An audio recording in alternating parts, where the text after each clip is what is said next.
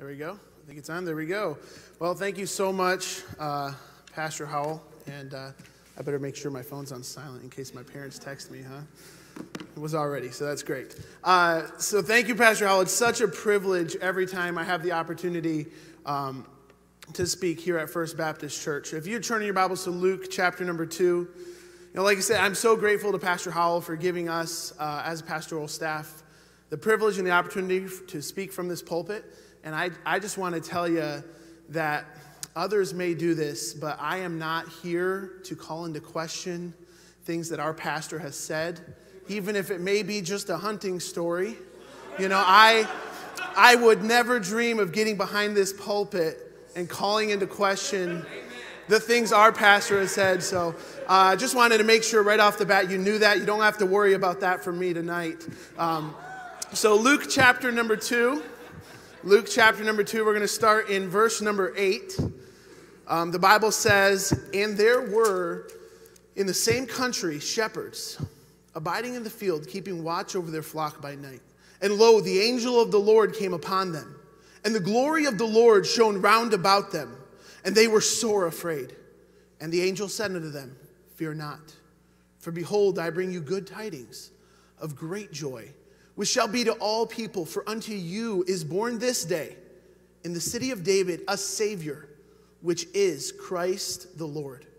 And this shall be a sign unto you ye shall find the babe wrapped in swaddling clothes, lying in a manger. And suddenly there was with the angel a multitude of heavenly hosts praising God and saying, Glory to God in the highest, and on earth peace, goodwill toward men. And it came to pass as the angels were gone away from them into heaven, the shepherds said one to another, Let us now go even unto Bethlehem and see this thing which has come to pass, which the Lord hath made known unto us. And they came with haste and found Mary and Joseph and the babe lying in a manger. And when they had seen it, they made known abroad the saying which was told unto them concerning this child. And all they that heard it wondered at those things which were told them by the shepherds. But Mary kept all these things and pondered them in her heart. And the shepherds returned, glorifying and praising God for all the things that they had heard and seen as it was told unto them. Lord, I thank you so much for giving us this message, the same message you gave to these shepherds.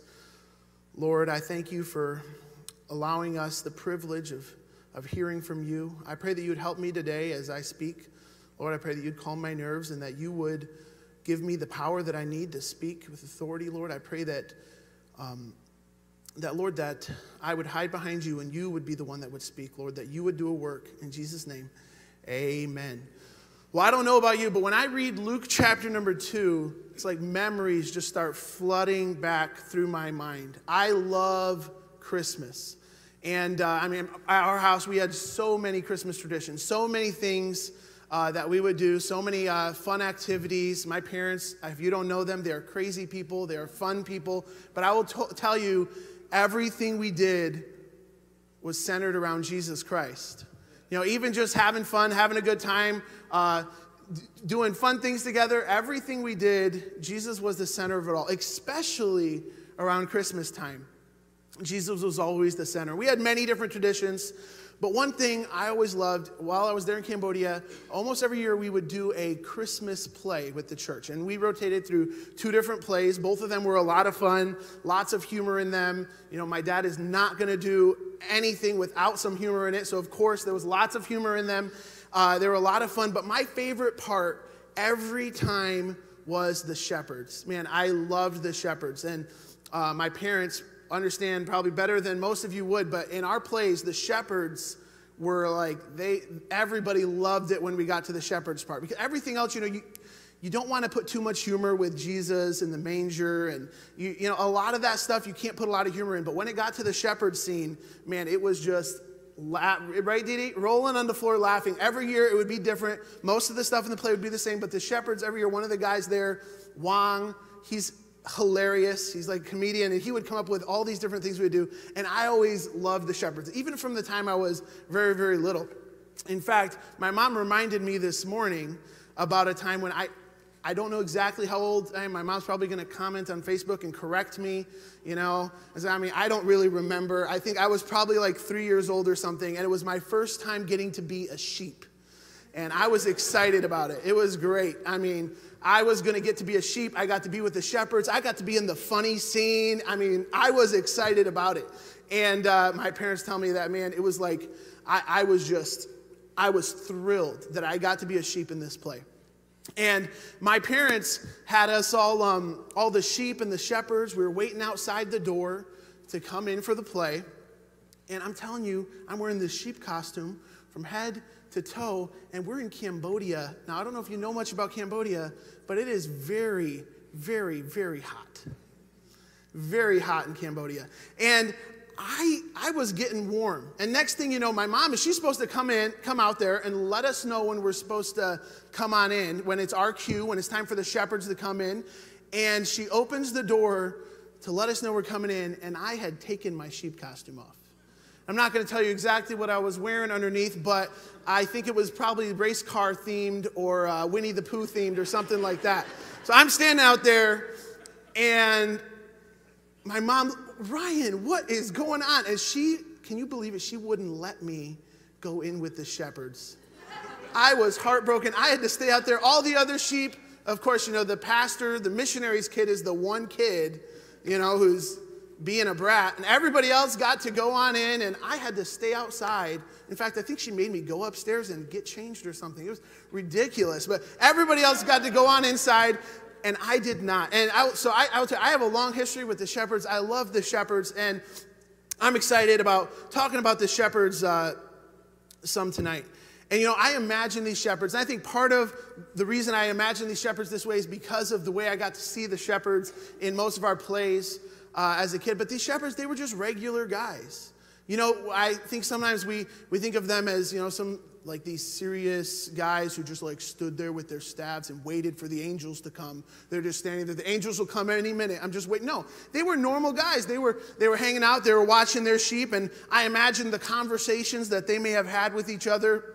You know, one thing about men, you know, you're at work all day. You spend all your time working. It seems like you get a few minutes away from work, and you'd you'd be ready to just put it out of your mind. But no, most men, they just want to continue talking about their work. And so I imagine these shepherds, they're probably the same. They're standing, sitting around, they're talking about sheep. Now, you're around sheep all day. It seems like you want to talk about something else, but they're probably, they're talking about sheep. Man, did you see, uh, did you see Jedediah, his sheep, man? He, he, he don't know what he's doing, not like us. I mean, we water our sheep, sheep in the right place. We know how to graze our sheep. Our sheep, they're the ones that are in the best shape. You know, they, they, they really, really look good. They, we, we breed them just right, and nobody else does it. There's a reason they have chosen our sheep to be the ones that are used in the temple. You know, our, they're, they're the best sheep, and, you know, we can take pride in that. And they, they may be talking one guy, well, my boss sent me out here with 143 sheep all by myself. Expects me to take care of all of them here by myself, doing all of the work. And imagine some old guy probably cuts in. Well, you have no idea what it was like when I was a kid, man. You, you guys, you have no idea. When I, when I was younger, my dad send me out here with 500 sheep just by myself. Y'all get sleep breaks. You get to take a nap every now and then. Not me, man. I had to stay up all night by myself, not another person in sight. Just me and the sheep and the bear. I mean, I killed most of the bears when I was a kid. You don't got to deal with them anymore, but you know, and probably talking about, and they were just normal guys. You know, some of them maybe talking about politics. You know, those Romans, they're taxing us so much money. Can you believe what those Romans are doing? And man, I can't wait till our Messiah comes and destroys those Romans. It's, yeah, it's going to be a great day. And, uh, you know, maybe ah, the Pharisees, you know, as long as the Pharisees are going with, oh, no, I think the Pharisees are in on it. They're in with the Romans. I tell you what, they're getting rich off of our backs. They're sitting there talking, the younger guys, maybe, oh, have you, you heard in Rome they're doing chariot races? Oh boy, wouldn't it be cool to get out there and see one of those races? You know, and another guy, oh, I, you know what, I don't know about those races, but I could just use me a good horse. You know, I'm here, my donkey keeps keeps giving up on me and I got to carry my load myself. I, if I could get me a good horse, I, you know, I'd be doing all right. And I, I don't know what these guys were talking about, but they're just normal guys having conversation, probably uh, picking on each other a little bit and having a good time sitting around the campfire. And, and then suddenly, out of nowhere, I mean, they're just sitting here talking. There's a normal guy having a normal conversation, then bam, the sky is filled with a light, and there's an angel standing there before them. You know, I, they, they weren't expecting this. It wasn't like, oh, here's the nightly angel again, here it comes. No, they, they, they were surprised. They were scared. What in the world is going on? Could you imagine if you're driving down the street in the middle of the night and suddenly, bam, a huge light's in front of you? You'd probably be calling the news. I just saw a UFO. There's something going on here. This is nuts. You know, they, they weren't expecting this. This was crazy. But God chose these normal guys, these, these guys that were even below average in their society. He chose to use them in an amazing way. They weren't, all, they weren't really all that special. They were just, spe- they were just shepherds, just normal guys. And yet God sent the angels to give them the message. And we're going to look at some things about these shepherds, about these guys. First, I want to look at a few things that these shepherds had against them. You know, God chose these shepherds, but there were some reasons they probably shouldn't have been the ones that were chosen. And when we look, we see they weren't qualified. They weren't qualified people to be used of God. God used these shepherds, we're going to see here in just a little bit. God used them to get an amazing message out to the people of Bethlehem. And He used them, he, they were the first people He sent the angels to to tell them that the baby was born, but they weren't qualified to be used of God. They were shepherds. I mean, in, in their time, they were, they were the, the bottom of the social ladder. They were, they were out there taking care of the animals. They were nobodies. They were poor. They weren't qualified. There were more qualified people. They, God could have sent the angels to the religious people, the people who were worthy of being used by God. God could have sent the angels to people with wealth and money so that they could bring large gifts to, to Jesus. And we do see that later on. There are wise men that come and bring gifts, but God sent the shepherds first. God could have used those with influence so that when they went out with the message, they would be trusted. I mean, nobody knows these shepherds. God could have chosen somebody that everybody would know their face. And when they say, hey, the Messiah is here and Jesus is here, everyone would trust them. But He didn't choose the influential. God could have chosen the educated, the scribes, those who had studied the scriptures and knew every passage and every jot and tittle, that knew every part of the Bible so that they could verify that this was the Messiah, so that they could give their educated opinion on uh, whether or not this is truly the Savior who is meant to come. But God didn't choose any of those people. God chose the shepherds. God chose the unqualified. They could have said, you know what? God, why don't, why don't we just let the religious leaders take care of this? Nobody's going to listen to us. Why, why, are you coming to us? Why don't we let the religious leaders take care of this? No one's going to want to listen to us. This Messiah is not going to want to see us. We're nobodies, we're shepherds. You know what? Don't think that God can't use you or doesn't want to use you because you're unqualified. God loves using the unqualified. That's why I'm standing up here right now, right? God loves using people who are unqualified to do his work. The shepherds, they, you know, you, you may think, well, I'm looked down upon by people. People don't respect me. The shepherds were looked down upon. Nobody res- respected a shepherd. You may think, well, I have nothing to offer. What did these shepherds have to offer? Nothing. And yet God chose to use these shepherds. They were poor. They were, they were disrespected. They, they were at the bottom of that social ladder, and yet God chose them. Next, what else did they have against them? You know what? They honestly, they weren't available. They were busy. You know, God could have gone to the people that were on break. God could have gone to the people that were at home with their families who had already gotten off work. God could have gone to the people that were on vacation, but no, God went to the people that were busy. God went to the people who they weren't available. They were keeping their sheep.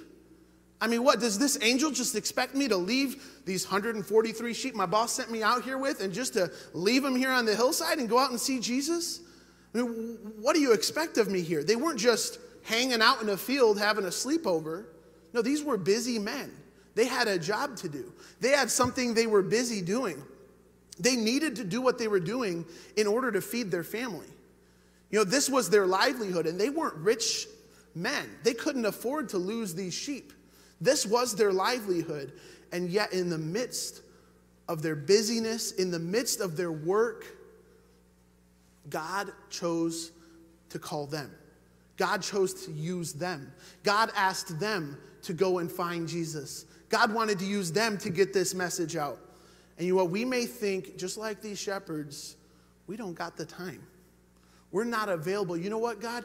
You can use somebody who has a little bit more time. Maybe somebody who's who's retired. You can use somebody who's younger that doesn't have to work as much as I do. You know, I got a family I got to take care of. I got a job I have to do, and it's easy to let the busyness of life get in the way. These shepherds, they were busy. They had a job to do, and yet God had a task for them. You know, life truly is busy. Whether it be work or are you guys school? You know, school, I mean, those teachers, they just assign too much homework. Am I right? My word. Yeah. Pastor Ryan included. Man, Pastor Ryan, last week, weekend homework, they were complaining. Seriously, Pastor Ryan, weekend homework? That's the worst. You know, like three days to do it. You know, come on, guys.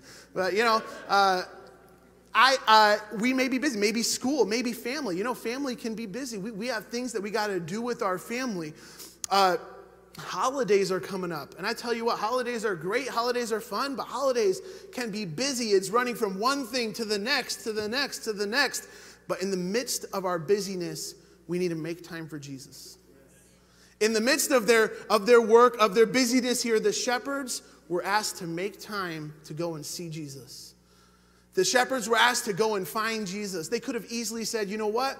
Let's send, uh, let's send uh, this little guy here. He doesn't really have much to do. Let's send him to go find Jesus, like the angel said, but I'm too busy. I got to stay here with the sheep. Let's send somebody else to go do that. But no, they went. Why?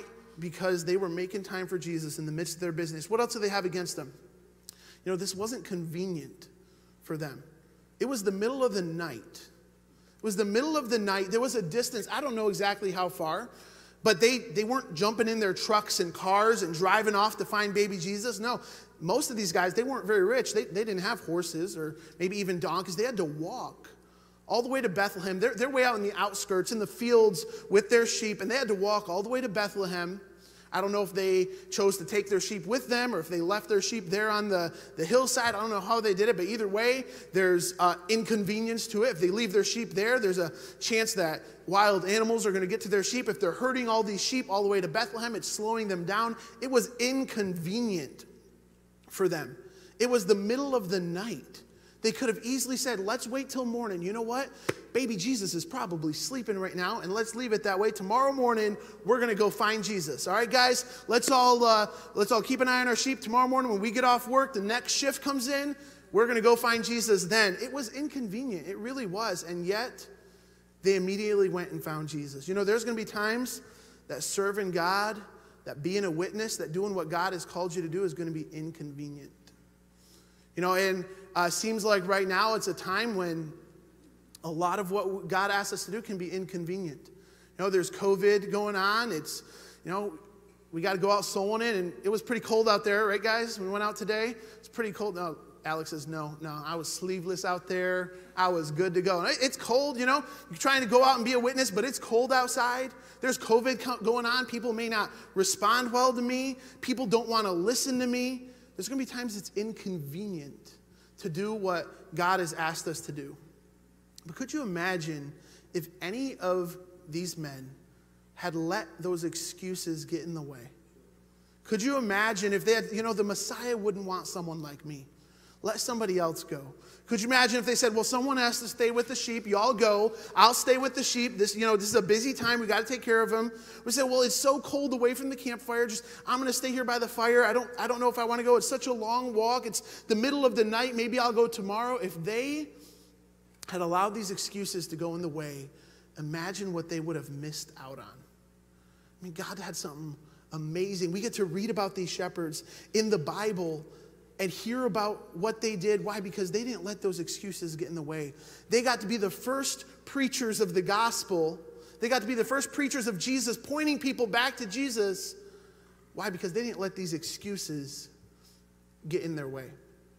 You know what? There's going to be reasons, and many times in our minds and even in other people's minds, legitimate reasons why we can't fill in the blank why we can't be a witness the way God wants us to, why we can't talk to so and so about Jesus, why we can't serve God the way He wants us to, because I'm busy, because it's inconvenient, because I'm not qualified, let somebody else do it.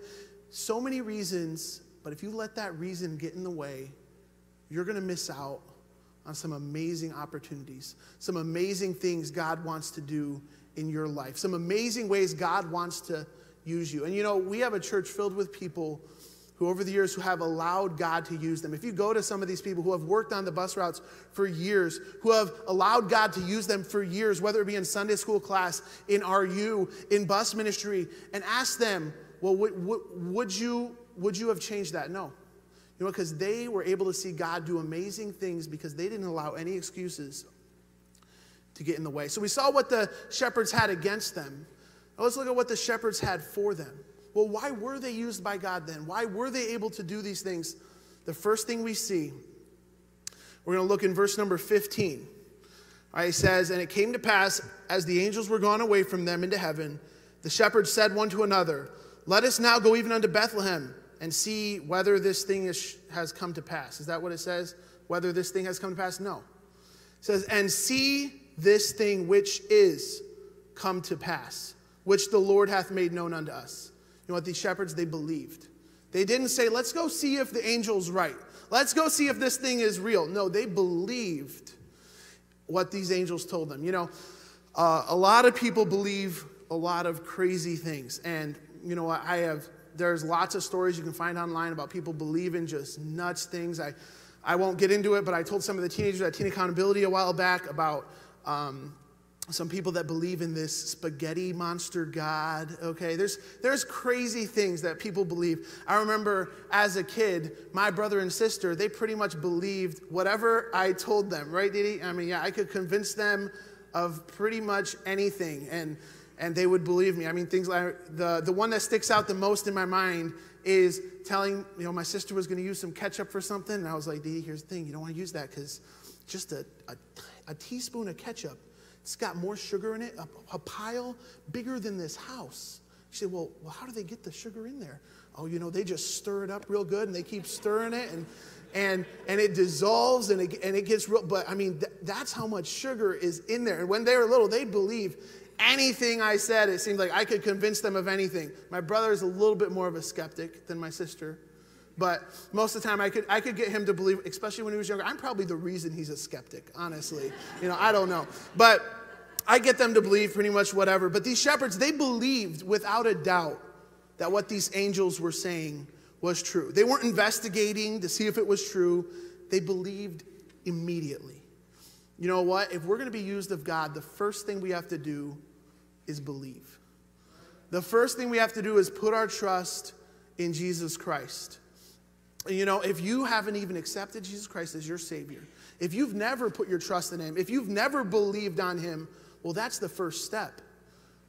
You're not going to get to see God use you in some great way until you've put your trust in Jesus Christ. If you've never accepted Jesus Christ as your Savior, you know what? We'd love to have you make that decision today. I don't care how long you've been in church. I don't care how much Bible you know. I don't care how, how many years you've served God. I don't, I don't care if you've never put your faith and trust in Jesus Christ. None of that means anything and you need to do that. It starts with believing. And if you are a Christian, if you have accepted Jesus Christ as your Savior, you need to start by believing that what God says is true. Many times, the reason we're not doing what God is asking of us is because we don't truly believe in what He's telling us to do. You know what? The reason we may not be witnessing like we should is because we don't believe that it works like God says it does. The reason that, that we may not be serving God is because we don't believe that God can use me. It starts with believing. These shepherds, they didn't question the angels. They didn't say, Well, are you sure it's Bethlehem? Are you sure this is where that we're supposed to go? In a manger? That just doesn't sound right. I mean, uh, the Messiah's probably been born in a palace. Did you misspeak there? I mean, I don't know what language angels speak, but maybe in translation something got messed up here. And I don't know, I don't know about manger. They, they, but they did not question the angel. They believed immediately. And then they saw Jesus. The next step is they went and they got to see Jesus for themselves. You know, they, they went to that stable. It says in verse 17, and when they had seen it, they made known abroad the saying which was told them concerning this child. They went and they found the manger. They found Mary and Joseph, and they found Jesus. And they got to see Jesus for themselves. You know, I, I thought it was interesting. They did not, on their way to the manger, tell people about this Jesus. Now, they did believe. It's not because of their lack of belief, but once they saw Jesus, immediately, that's when they started telling others about him. And until we see Jesus for ourselves in our own life, all the rest of the things we're doing are pointless. You know, I, uh, I, I really, especially as a teenager, enjoyed playing paintball a lot. I know some of our teenagers, they like paintball. Are there anybody in here who enjoys playing paintball? All right, quite a few actually. I loved paintball. And I remember one time I was playing paintball and uh, I was in a perfect little hiding spot. You know, I'm not, I'm not real fast, so I wasn't, you know, one of those people that's like darting all over the place. And you know, I just go from one hiding, one, one, one hiding spot to another. It's got to be big enough to, you know, conceal, and so it has to be spots there so I could look out, uh, preferably while standing. It's easier for me. And I, you know, I, I would do things like, and I, am here, and I'm looking out from my. Uh, my, my hiding spot here, and I can see one of my opponents clearly. I mean, he's standing there, wide open, back turned to me, perfect opportunity for me to take them out. And I raise my gun up. I'm, I'm excited. You know, I don't get a lot of these shots. Normally it's everybody else shooting me. So here I am with my opportunity, and I pull the trigger.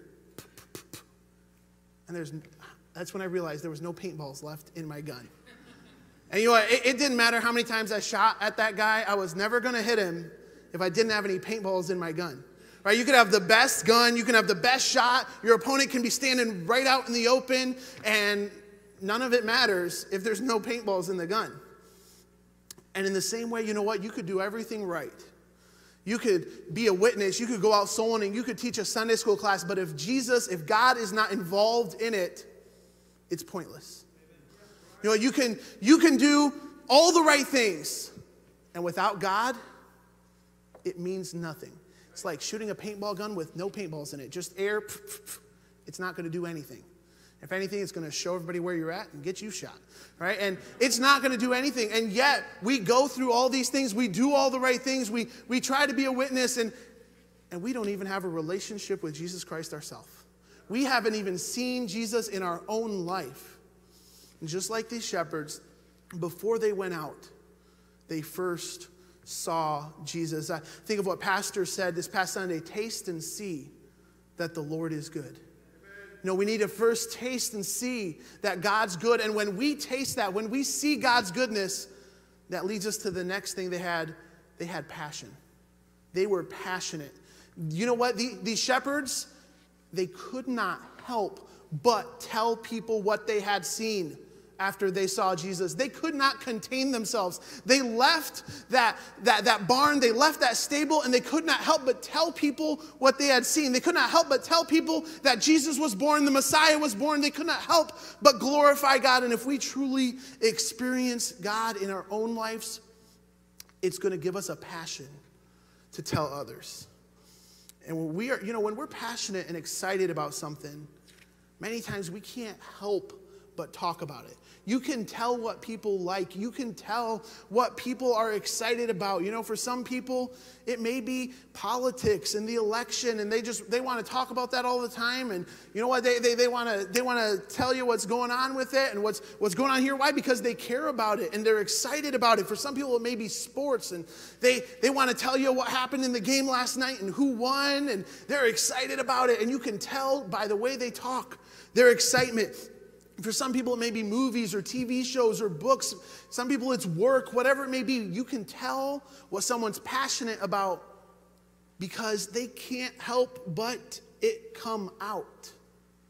And if you're passionate about Jesus Christ, you're not going to be able to help but allow it to come out. It's going to pour over out of you. If you've had a relationship with Jesus Christ, if you've experienced God in your own life, you're not going to be able to help but have Jesus come out.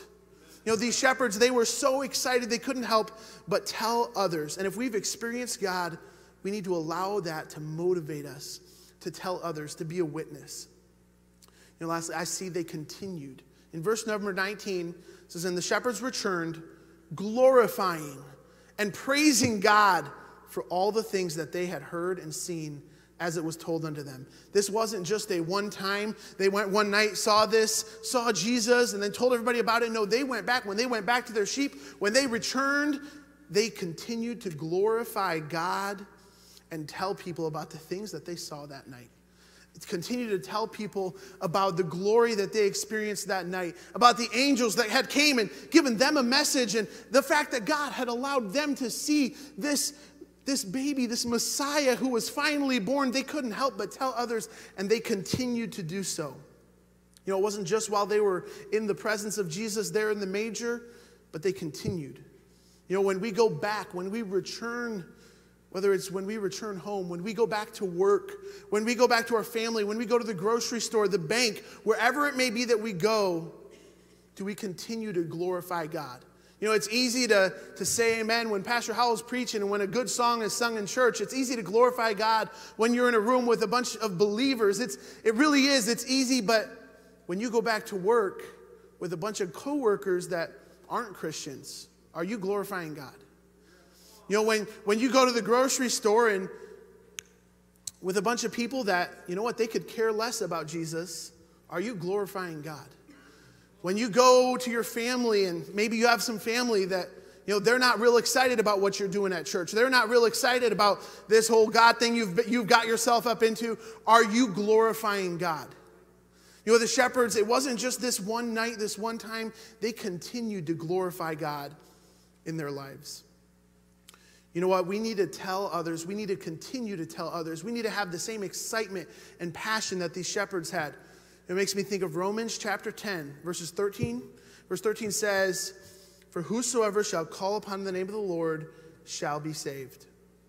How then shall they call on him in whom they have not believed? And how shall they believe in him of whom they have not heard? And how shall they hear without a preacher? You know what? It's easy to complain about this world. It's easy to complain about politicians who have, who have views that are so contrary to Scripture. It's easy to complain about coworkers who act in ways that, that God would not be pleased with. It's easy to complain about people with their ungodly views and their language and their, their attitude.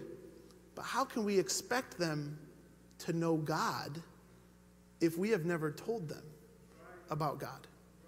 How can we expect them to believe unless they've heard? And how can they hear unless there's a preacher? You know, unless there's somebody that's going to tell them. Your coworker who, who may act in horribly ungodly ways, and it's easy to complain about them to your other coworkers. It's easy to come home and complain about how awful your boss may have been, but how can you expect them to act like they know God if you've never even told them about God? You know, the gospel will change people's lives, but how can it change the life of someone who's never heard it? How can it change the life of the person who you have refused to tell of the gospel? Our job as Christians is the same job these shepherds had. They came and they believed, they saw Jesus, and then their job was to proclaim Jesus to everyone they came in contact with. That's the same job we have. You know what's great? Because Christmas time, it's a great opportunity to tell others about Jesus. I think it's funny, people who would would never consider themselves religious or godly at all. Christmas time comes around and they're now willing to talk about, about Christ and about God. I think of, uh, uh, I got a haircut today, and the lady, she was very open and talking about, about Christianity, talking about God, talking about her beliefs. And Christmas really is a great time.